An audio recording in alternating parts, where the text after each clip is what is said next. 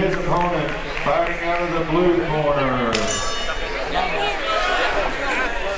He's trained by Slaughterhouse MMA, coming in at 125 pounds. Christian Koop.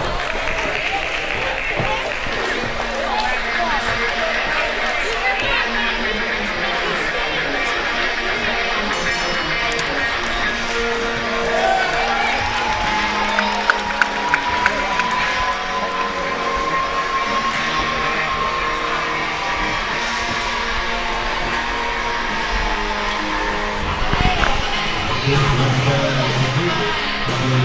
you.